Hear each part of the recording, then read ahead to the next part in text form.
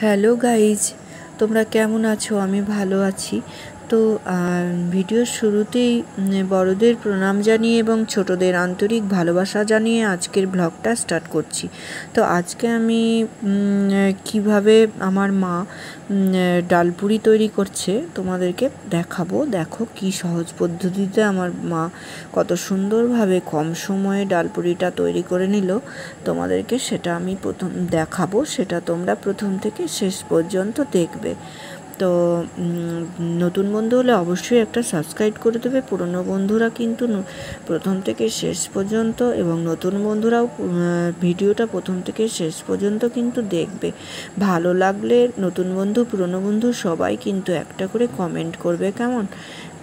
ঠিক আছে, এটা আমার মা। দেখো কীভাবে ডালপুরি রান্না করছে, তোমরা দেখো। ঠিক আছে?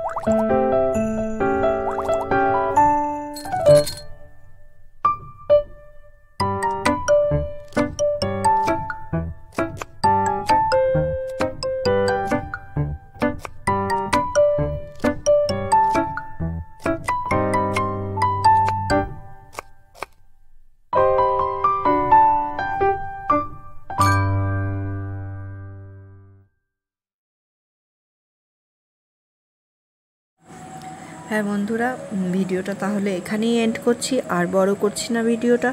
তোমাদের দেখতে সুবিধা হবে, সেই জন্যই ভিডিওটা এখানেই এন্ড করার চেষ্টা করলাম। তো তোমরা ভালো থেকো, সুস্থ থেকো।